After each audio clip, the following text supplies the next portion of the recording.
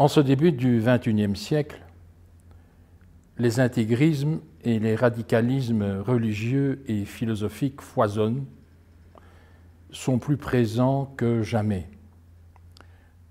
Le moment est donc venu de s'interroger sur euh, les meilleures voies pour rendre la société euh, plus harmonieuse, plus humaniste, plus ouverte à chacun et à chacune.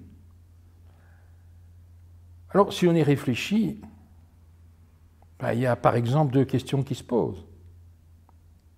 Est-il acceptable que de nos jours encore, il soit dans certains pays ou dans certaines contrées impossible d'apostasier, de changer de religion?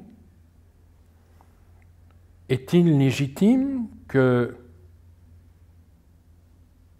des lois religieuses soient encore des lois de l'État, et cela indiscutablement au détriment de minorités religieuses.